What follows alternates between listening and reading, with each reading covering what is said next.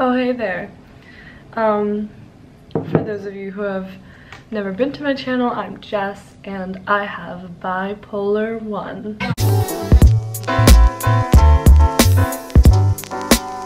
Today's video will be different than my other ones because it's not going to be a room tour, prom video, any of that type of stuff because we are sitting and we are talking today. About a month ago, I was diagnosed with bipolar 1 and generalized anxiety with panic attacks, but today we are focusing on the bipolar aspect of things. Oh, just a disclaimer, I talk about this stuff with smiles and as if it's lighthearted, and it clearly isn't, but like humor and being positive is kind of my coping mechanism, even though it's a really tough topic for me, but if it works for me, it works for me. Seeing a therapist at Brown for about a year now, and they've listened to me rant endlessly. But the common denominator was that I had terrible mood swings, anger issues, and it couldn't have been just classical depression because there was something more to it. One day I would be perfectly fine, happy, energetic, wouldn't be able to stop talking, and the next I'd be angry, quiet, sad, hopeless after about maybe six, seven months of seeing them, they said, Jess, this kind of sounds like you're experiencing signs of bipolar. And I was like, me? Sir, I think you have the wrong girl. Suggested that I got a neuropsych evaluation. Of course, due to COVID, the wait list to do so was going to be like another four or five months. I was waiting six months to know what was actually wrong with me. And that was just the most stressful thing, but I waited. In the meantime, I got a psychiatrist in which I told them, hey look, I think I might have bipolar or something similar to that. In which they give me antidepressants because no, I'm high achieving.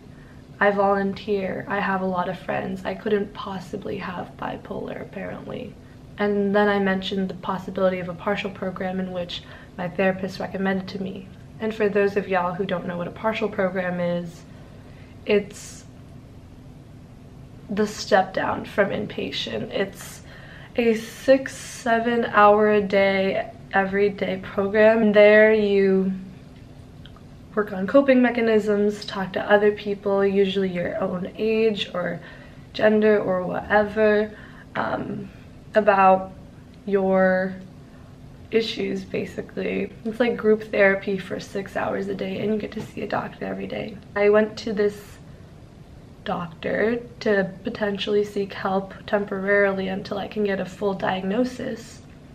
And they go, you're such a high achieving student, there's no way that you have bipolar. And this is a doctor, keep in mind, a trained psychiatrist either way, I couldn't argue with them because what do I know? So they put me on antidepressants, which I've found from a lot of internet searching is the worst thing you can do to someone with bipolar. It just takes that up and down and just shifts it so much up because you're getting rid of the down and your mania goes out of control. And that was displayed in the couple months of my life to follow. I'm laughing about this as if I didn't end up in the ER two times. Yeah, twice. And between those two ER visits, that's when I finally got my formal diagnosis of bipolar type 1. And for those of y'all who don't know what the difference is between 1 and 2, 1 is more visible in a way. Um, just like the levels of things, especially mania, is a lot higher than someone who would have type 2, which is hypomania. Um, you get really impulsive, your impulse controls almost none, and you at times can see things, hear things, have these very, very intrusive thoughts, and it's a scary thing. But anyways, finally started the partial program once I started in college although I wish I had been able to do it over the summer, but no, I was thriving. The antidepressants ended up making me be so out of control with myself that I was going to try crazy things that I otherwise might have not tried. Either way, I move into college and within the first week I end up in the ER. And then it was then that I realized that I could not wait for a partial program, I had to do it ASAP. And so I started it, and the first day was good. I made friends. It was a young adult program at Butler Hospital in Providence. And I made friends, and we talked, had group therapy.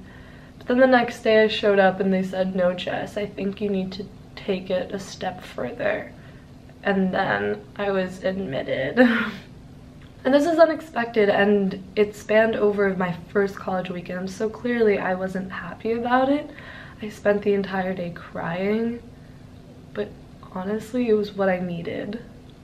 And I know no one wants to go there. I'm here at Brown versus there Butler.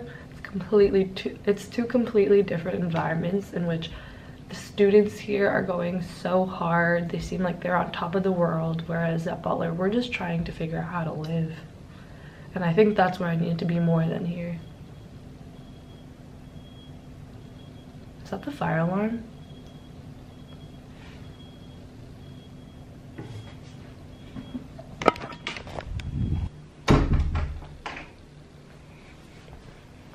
I think it was a truck. I feel fooled. Never mind. Anyways, it was a completely different world over there and I honestly felt like it was a better fit for me than school was at the moment. So I ended up spending my first college weekend at this crazy rager called the psychiatric hospital. That's how the cookie crumbled and I think that it I got I did get better from being there. It reminded me to eat three meals a day, just breathe and these things all seem so simple and mundane, but when you're so in your own head, you forget these things. Now I'm back at school, and obviously things aren't so perfect and easy and 100% fixed. And I've been told by my professors that the path to overcoming this is anything but linear which sucks. Sucks because I wish I could just take a pill and this would all go away, but clearly that is not how it works and it's gonna take a lot of work trying different things. But I'm creating this introduction. Hi, I'm Jess. Kind of lay grounds for this new shift in direction I'm taking for my YouTube, even though I have, what, like almost 200 subscribers who are probably following me because I go to Brown, but even if I can just reach out to one person going through the same thing as me, I know I was searching YouTube for at least like a big sister, big brother figure to help me through this and I simply could not find it. It's all just like psychiatric hospitals and therapists and their own programs if you look up the caption living with bipolar like no i want i'm a real ass person and i'm about to give it to you straight. I want to be that person on youtube that can show you that you can be very successful however you want to quantify that. You can be successful and seem like you're thriving when that is far from reality. I want to bring awareness to the fact that people may seem fine on the outside and that's a tricky thing with bipolar. You could just seem like you're social and happy and just have a few rough days or weeks. And so it comes off as the illusion of you're very normal even though you yourself might feel like you're not. I want to bring awareness to the fact that you can be highly functional and thriving and still be struggling the most so here I am, me, BP. Um, so there will be more videos to come, more specific videos like medication talks and hospital talks and whatever y'all want, like a day in my life, I don't know.